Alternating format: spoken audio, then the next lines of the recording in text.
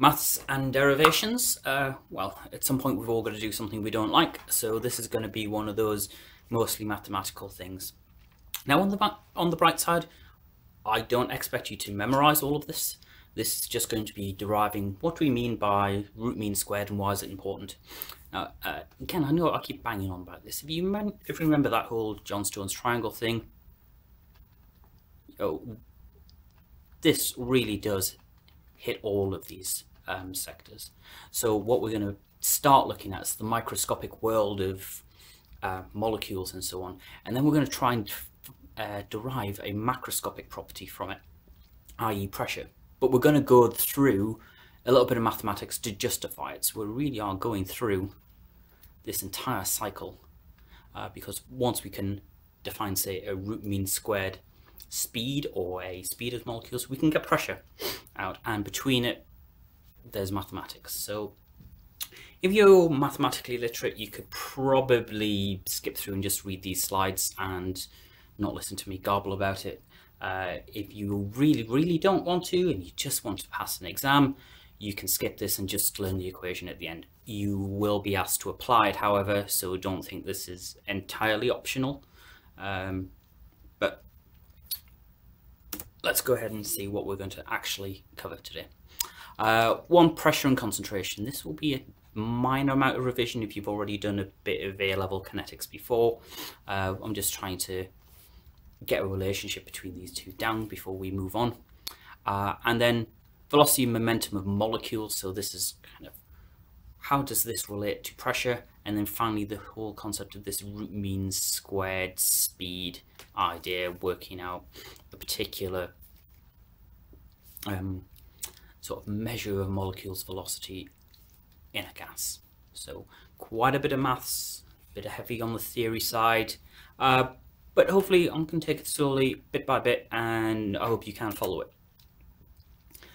Uh, so first, pressure and concentration. Previously in the first half of this, the first topic, uh, we mostly looked at kinetics from the idea of concentration. So uh, rate constant times a concentration of some description. So we wrote concentration down in these square brackets.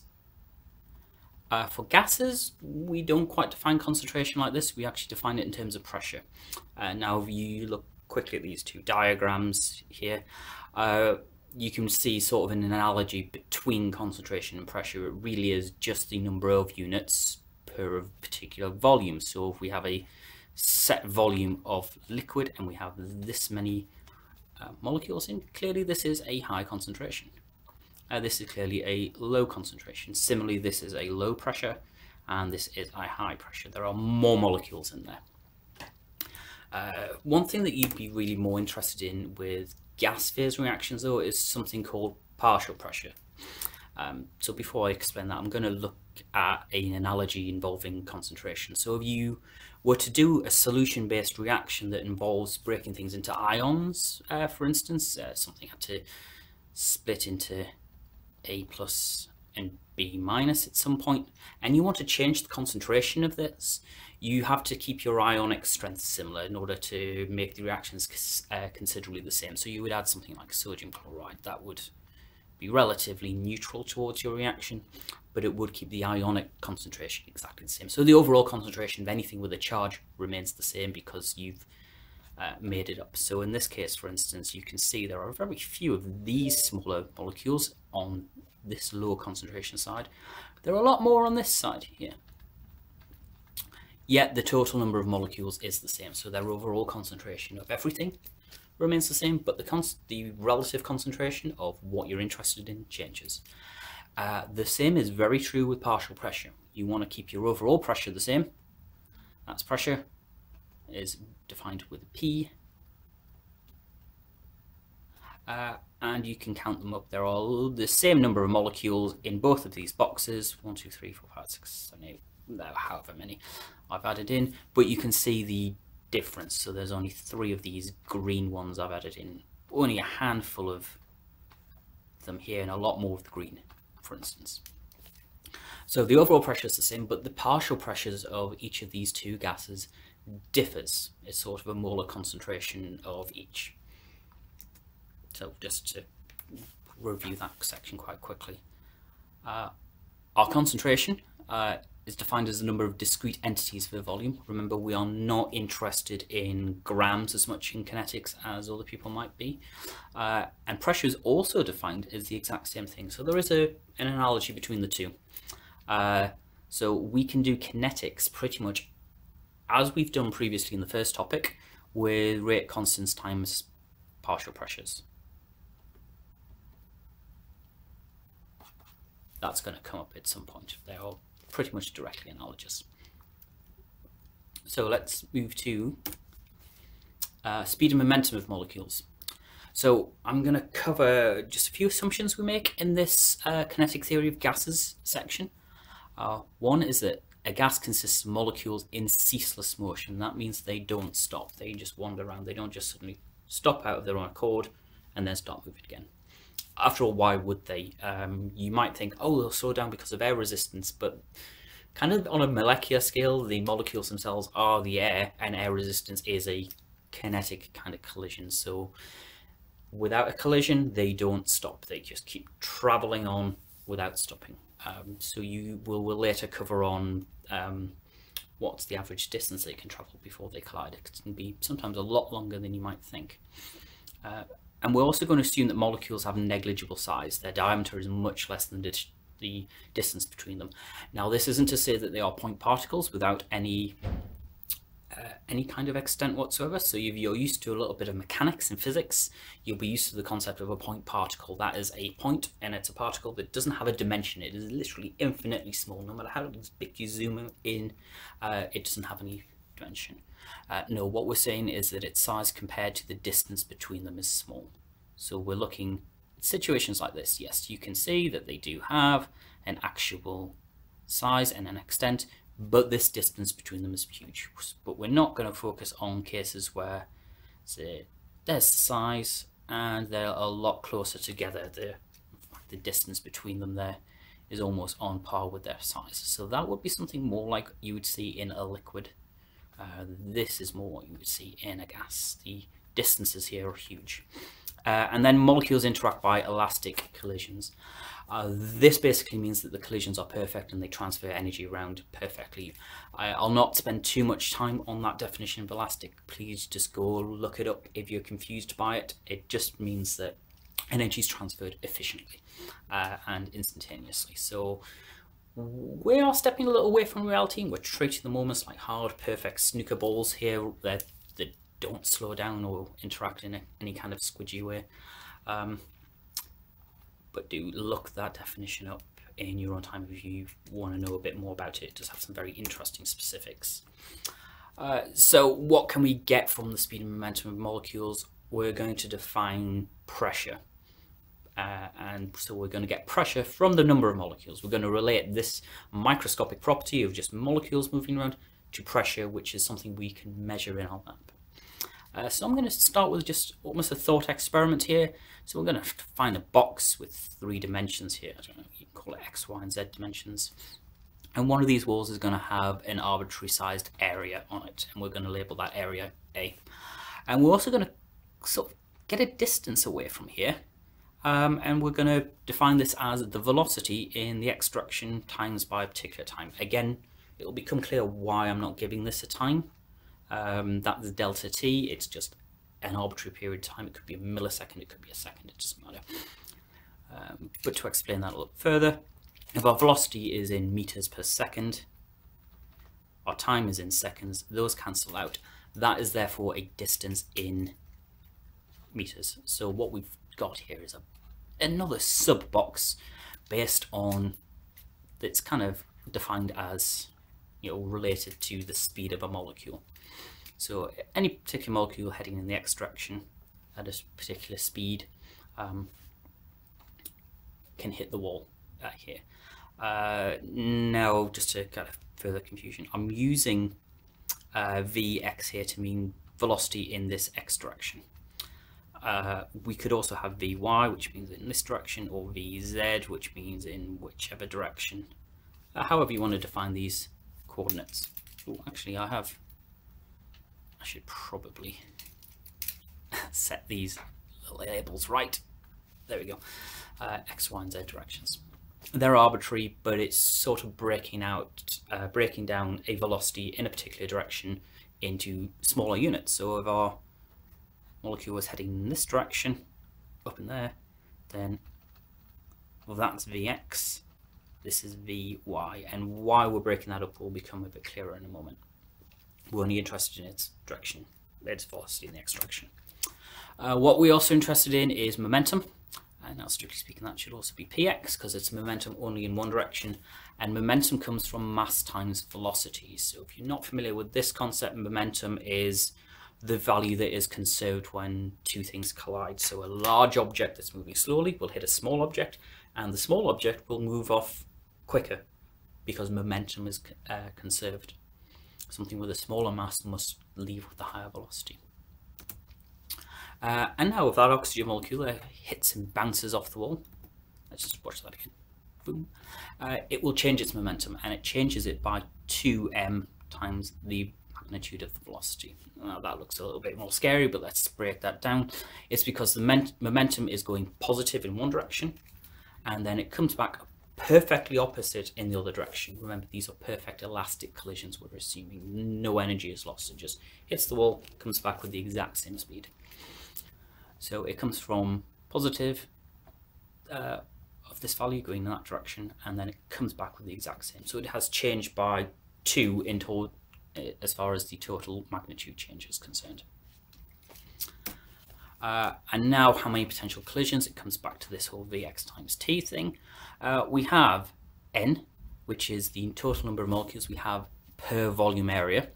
And then we want to calculate the volume of um, the number of molecules that would be in the area that could actually make this collision here. So what, how many molecules can hit that? Well, we know their relative concentration, we just take that area and then we times it by this distance. So that is the number of molecules in this little sub box here.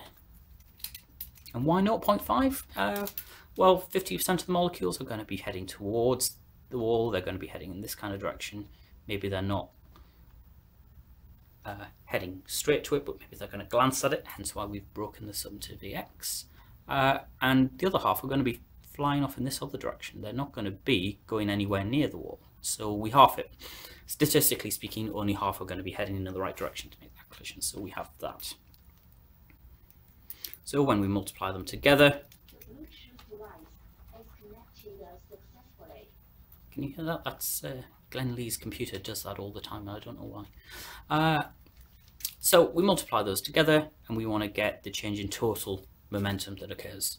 So we take how many molecules we get and we take the individual molecule and we multiply those together. So we can cut down a few things. If we rearrange these a little bit, we notice the two, uh, let's go back, we notice these two Um, and two cancel out for instance, and we get the total change of momentum is equal to the number of molecules, as in a concentration of them, multiplied by an area, by the mass, by a velocity squared, so that term's going to become useful soon, and then by this delta t, which is arbitrary. So the next section I'm going to say why that delta t is arbitrary. There it goes, good bouncing again. So our total pressure is equal to this, as we've just worked out.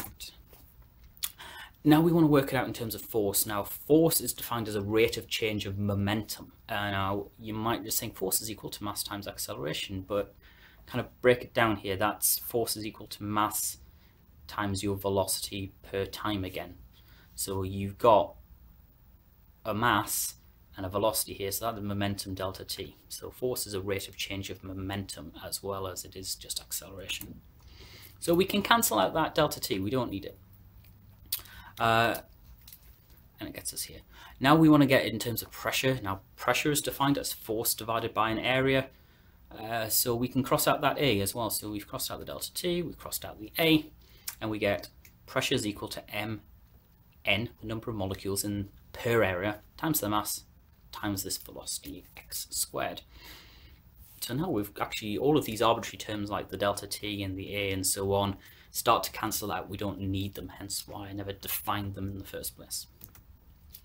So if we break this down, we now have pressure is equal to the number of molecules times their mass times their velocity squared. Uh, now just quick note on this notation.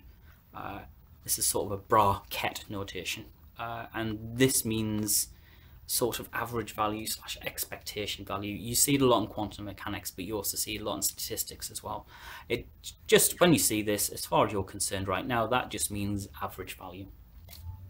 It appears in other things, but you're just interested in the terms average value. So their average value of their speed is equal to pressure. Because obviously some molecules are going to be quite sluggish, although they're going to go a lot faster, uh, but they're going to average out and when we measure all the molecules on the macroscopic level in the lab, uh, we're just going to get an average. We can't really get a difference between, we can't detect the difference between really fast molecules and slow molecules very easily. We're just measuring an average. So let's just review this for a minute. Why pressure? Um, the pressure is defined as the force that comes from molecules that hit the sides of a container. Uh, not necessarily a container, by the way, that's just sort of an abstract thought experiment. It can still be a force outwards into another gas, for instance. It's the force that could cause work to happen, for instance, if you think back to your thermodynamics. And we can calculate it from certain molecular properties, namely their mass and their speed. So to run through that derivation very quickly again, we want to calculate a force and pressure. So we find the momentum change of a colliding molecule. Remember that momentum change is double that, so it's that way, then that way. Then we want to find the number of molecules that can strike an area, so that's their velocity times a just an arbitrary length of time, and we multiply them up by the number of molecules, the area, the mass, and so on to get this whole macroscopic force that's happening. Then, because force is the rate of change of momentum, we can cancel out the delta T. Because pressure is per area, we can cancel out the A, so we get this final equation here that relates pressure to the number of molecules and their mass and their velocity squared. So that velocity squared becomes a bit important later.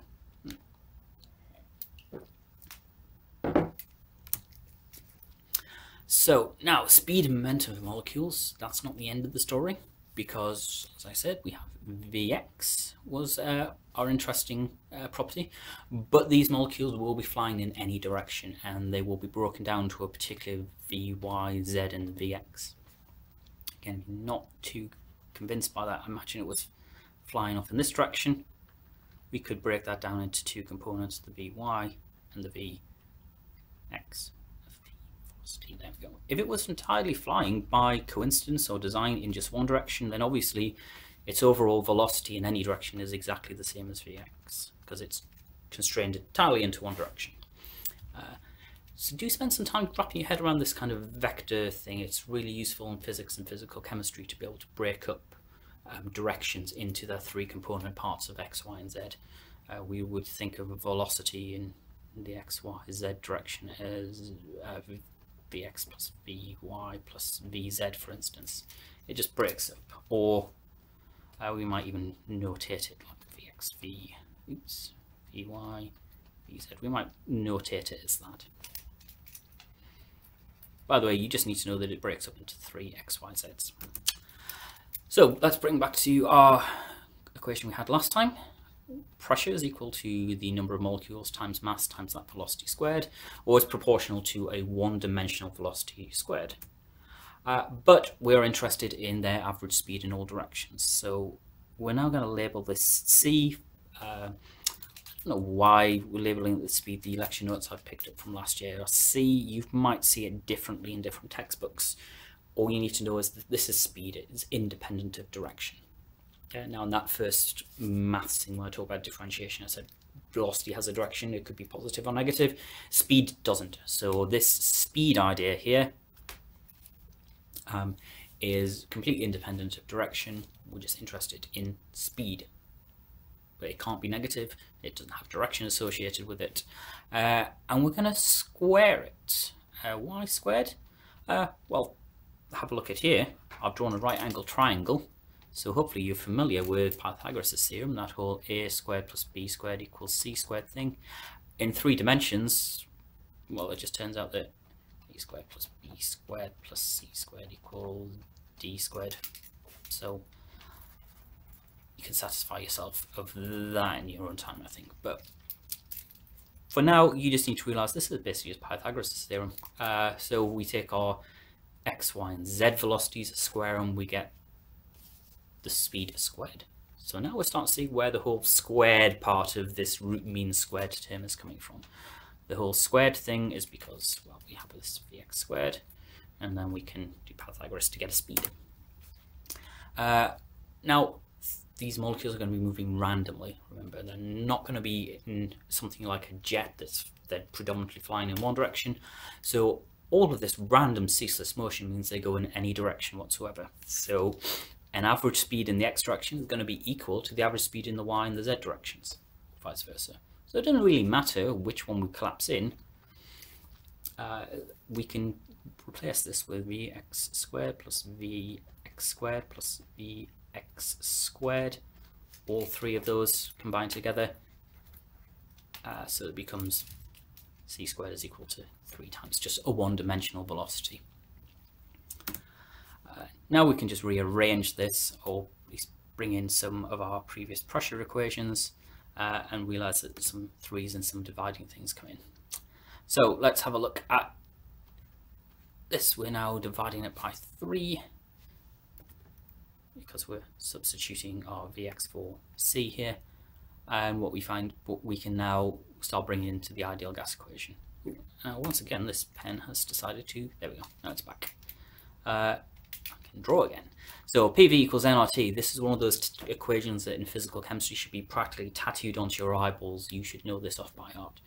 Uh, you know you can replace uh, N for a number of molecules and the Avogadro's number, and you should be able to know you can replace R with the Boltzmann constant if you relate them. So we can actually replace PV equals nRT with this and rearrange slightly. So we end up substituting, um, we end up getting a formula for our pressure in terms of number of moles, Avogadro's number, sorry, um, Boltzmann constant, temperature, and volume. Uh, now, here's our origin. Uh, so here, when we want to, oh, sorry, missed a bit out. We originally defined previously that n is the number of molecules per unit volume. So that means that whole n times Avogadro's number divided by volume equals the big N that we had previously. So we can substitute that into there.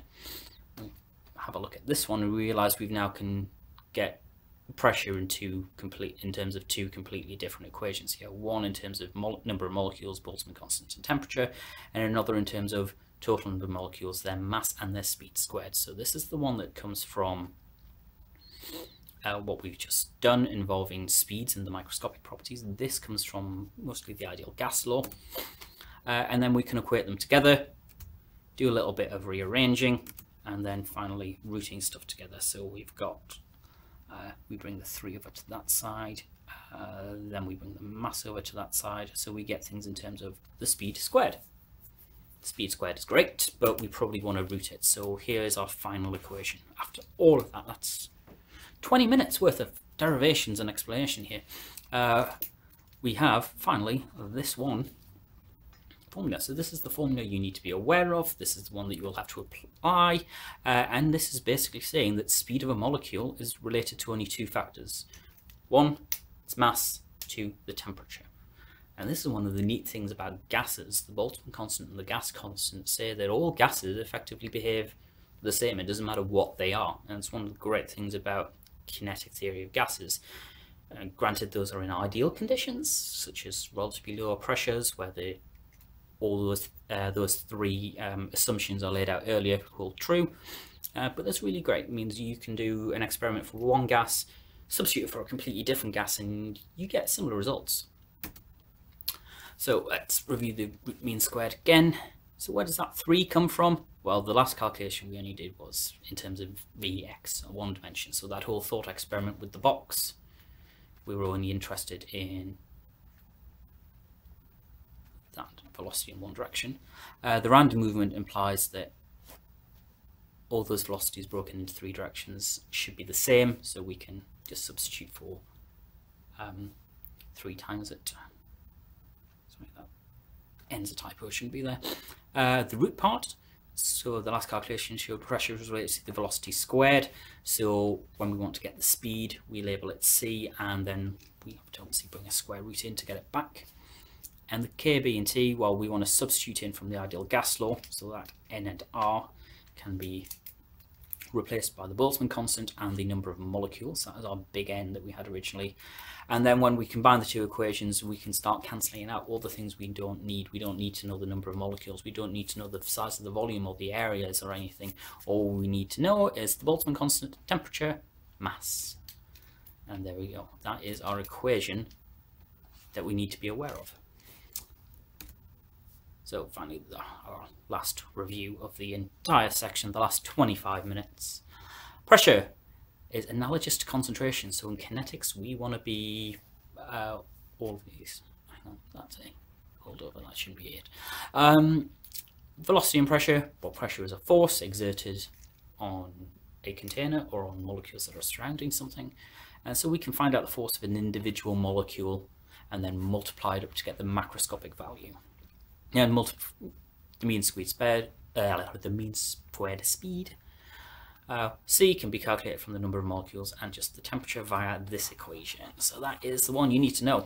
Uh, and we will try to apply it in the lecture. I will have you shove some values into it, do some other problem solving, and we'll introduce the other uh, related ones in later screencasts and lectures as well. So, hope you did manage to follow that. Hope it was useful in helping derive where this equation comes from. You don't need to memorize its derivation, just be aware of the thought process behind it. Uh, certainly you need to know that this just doesn't come out of nowhere. We do genuinely have a reason for using it uh, and for why it looks like that. So until next time, goodbye.